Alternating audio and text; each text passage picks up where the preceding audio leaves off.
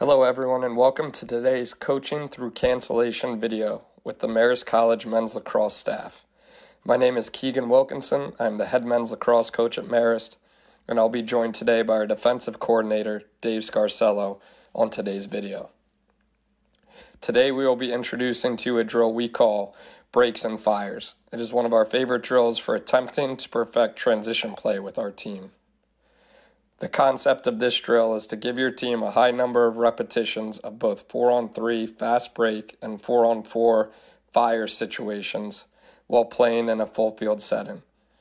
To properly run the drill, you will need to divide your team into two even squads. In our film, you will see them in a red versus white setting.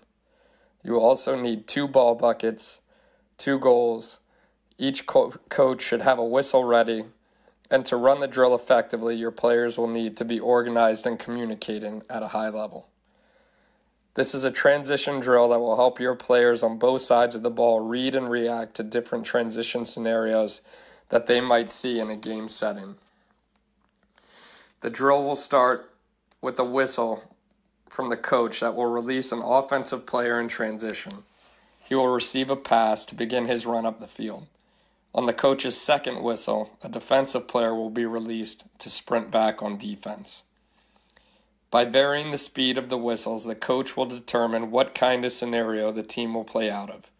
If the coach holds the second whistle a bit longer, it will lead to a fast break opportunity, whereas if he blows the second whistle quickly, it will release that defender earlier, creating a 4 on 4 situation. This will require both the attack and defense to have their eyes upfield, ready to recognize the situation, communicate, and adapt on the fly to how they will be effective in each repetition of the drill. This next slide gives you a clear outline of how the field will be set up for the drill. You will need to have attack, defense, and goalies on each end of the field. The midfielders will be split up in half. This includes all offensive midfielders, short stick defensive midfielders, long stick midfielders, and face-off personnel. Half of the midfielders are offset in the corner of the restraining box, and, are, and that's the group that will be coming down offensively. In the middle of the field is the other half of the midfield group, and they will form two lines serving as a group that will get back and transition defensively. Coaches are about halfway between the goal line and the restraining line with the bucket of balls ready to inbound the ball to start the drill. As you'll notice in our film, this could also be an extra goalie that is waiting to be subbed into the drill, allowing him to get additional repetitions of outlet passes. Here we're going to show you how the drill functions in a live practice setting. As you can see, the coach will inlet the ball in the first whistle to the midfielder starting transition. The second whistle releases that midfielder on the inside, creating a four on four opportunity for both teams. A shot and a goal forces the goalie on the other side of the field to throw the ball in, and the second whistle again releases the inside line. Again, forcing a four on four situation for white coming down on offense versus a red defense. As this player sweeps across the top, shoots, and the goalie makes a save, the goalie will inlet the ball as opposed to the coach, keeping the drill flowing and getting them reps of passing out in transition. Number two comes down in transition with the midfielder on the inside releasing on the second whistle. This was a fast break opportunity. With the goalie making a save, he again throws the outlet, and the coaches need to be ready to blow the whistles. And now we're going to let the play resume with no telestration or voice overlay so you can see how the drill works and listen to the players and coaches communicate throughout the drill.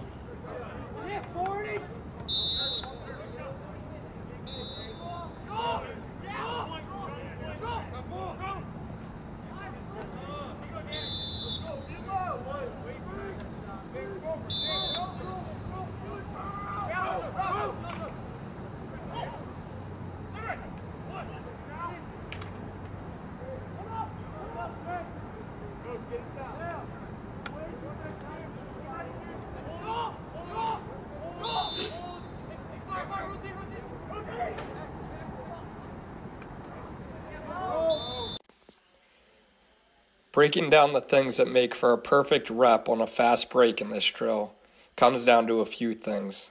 First and most importantly is spacing. You want to make sure that your point man is wide enough and slightly outside of A2 in this situation to create an easy pass down as the defense is forced to rotate.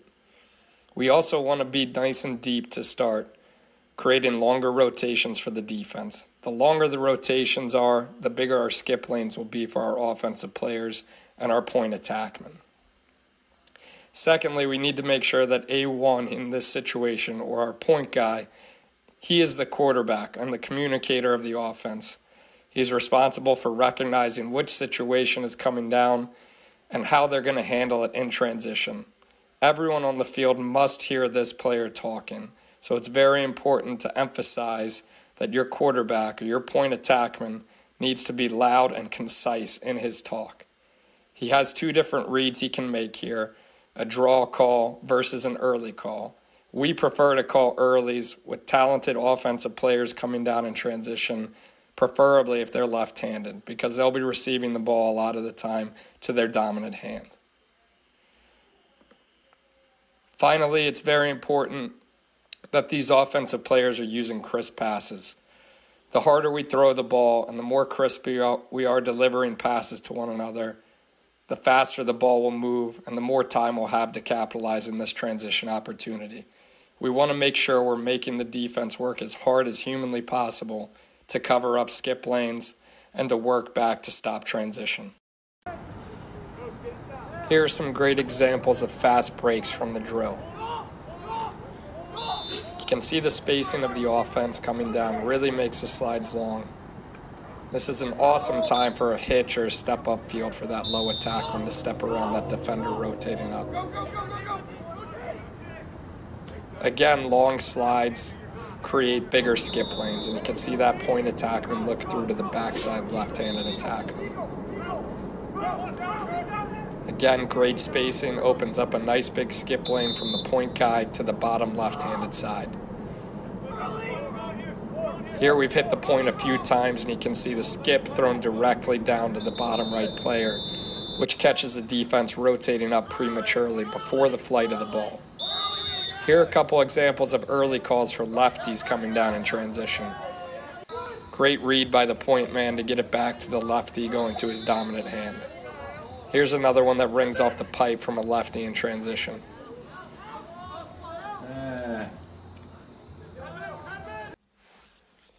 For a perfect rep in a fire situation offensively, the most important piece is that we want the midfielder coming down in transition to go right at that defender. In this case, it's a short stick on the slide. You want to dodge right at that belt buckle, allowing you to go to the left or right, down the alley or across the top to put as much pressure as you can on the defense in transition. A lot of the time, they'll try and force you down the alley. In this situation, we would want to dodge down that alley after going right at the defender's belt buckle. And A3 on the left handed wing would want to clear through to give us as much space down the alley as possible a lot of the times defensemen will come off that clear through and we will then have a lot of different options, whether it's over the top to A1 or driving the ball through X to A2 to make the next read. But we're always dodging to score in transition to put as much pressure as we can on the defense. Here are some live examples of fire situations that are great reps for the offense. On the first clip, you'll see 13 really put the defender on an island before running down the alley. With no clear through, gives them a clear shot running down the right handed alley. On this next rep, you see they elect to go with a down call, which means they pass down to the attackman and set a pick. The attackman rejects it, get it under, getting underneath. On this next rep, another fire situation where they really dodge downfield well and put the ball through X after the slide. This just gives you a great look at how this drill develops when a certain rep goes a little bit longer and you just get some great four on four play for your team. On the following rep, number three coming down, one of our better dodging midfielders really gets inside and puts his defender on an island. Went into his left hand, getting a quick slide, resulting in an easy pass down to one of our best finishers at attack. We fumble the pass but end up getting it down. And the offense makes a great recognition to get the down call here for the left handed attackman to come off the sweep off that down pick, get into the middle of the field. We have another great repetition of a fire call getting right down the alley for a shot where the defense just hesitates to come off that clear through. Another rep of a strong right handed midfielder getting down the alley and throwing the skip pass immediately over the top. And then the final clip is number three again, getting right at the midfielder and this time pulling up for a shot with his left hand. But he's got the entire cage to shoot at. This drill allows us to enforce some of our most important principles on the defensive side of the field. The first and most important is communication. We need our point defender to establish himself, echoing if it's a break or an even situation. He'll then quarterback the defense using either a rotate or a hold call, we rarely want our points sliding above 12 yards. Any higher, and we're creating a very large gap for our recovery. Our low defenders are waiting for the call from the point and for the flight of the ball. We can't get caught taking false steps and opening up skip lanes. Our goal is to force as many passes as possible on the outside and force the lowest percentage shot. We'll do that with fast, disciplined rotations, using our sticks to cover up skip lanes, and making sure that we're getting into the gloves of attackmen as they receive passes. When defending in odd number scenarios, we're always waiting for the flight of the ball to release our rotation. In this first clip, you'll notice all three defenders are working as if they're attached by a string. This allows them to cover up skip lanes with no wasted movement. This second rep, you'll see all three defenders using the length of their sticks to suffocate the offense. Our goal is to disrupt the shape of the offense and force them into rush passes. When our point holds and forces the ball back to the midfielder, our rotation will be reversed. We like this look because it takes the decision making away from the offense's quarterback at the point.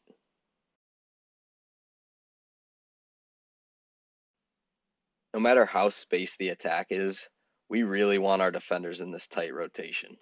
This shortens the amount of ground they have to cover when the ball hits the air and reinforces how important it is for us to use our sticks to take up space. Here we've got an excellent defensive breakdown at the bottom right attackman, taking away his free hands and forcing him to step away from pressure. Although we give up the goal, the close defense did their job by forcing enough passes to allow us to match up four on four.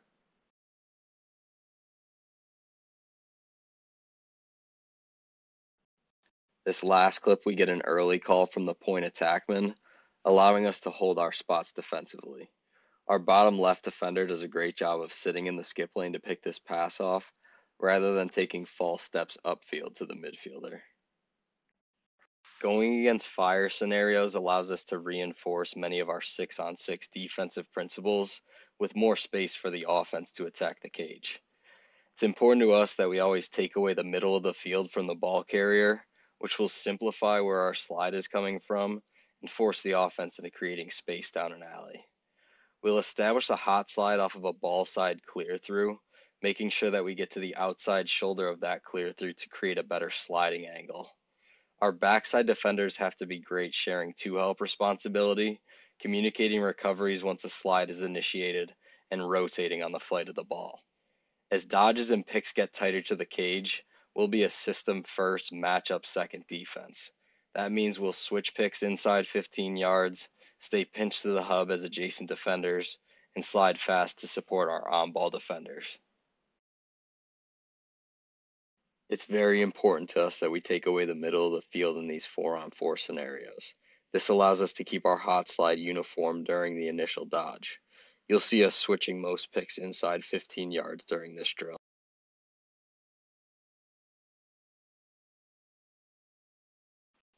On picks this wide from the cage, our on-ball defender has plenty of space to get under the screen and re-engage his matchup. Our short stick here does a great job of maintaining contact in the hip of this dodger, forcing him into a low percentage shot. In this rep, you'll see us establish a hot slide off of the near side clear through. Watch the footwork of our point defender. His positioning allows him to quarterback the defense by staying opened up to the ball and his man, helping inside is two, and directing recoveries. We want to switch this pick a second earlier, reinforcing that we're taking away the middle of the field. Watch our backside defenders hold their spots on the attack exchange, ready to help as adjacent defenders. This rep shows why this drill is so beneficial to our program. These extended four on four scenarios get both sides of the ball playing lacrosse with fewer bodies and more space. This forces us as a defense to remain disciplined to the hub, our version of the paint in basketball, this unit here does a great job of switching matchups and sliding fast to each other. This clip reinforces our principle that we're always waiting for the flight of the ball to initiate a rotation. We get a slide off of the crease, but our backside defender waits for the ball to hit the air before he leaves. No false steps puts him in a better position to make a play on the ball. Thanks so much for tuning in. We hope you enjoyed the drill and were able to take something valuable out of it during this time where we're all searching for ways to get better. You can follow us on GoRedFoxes.com.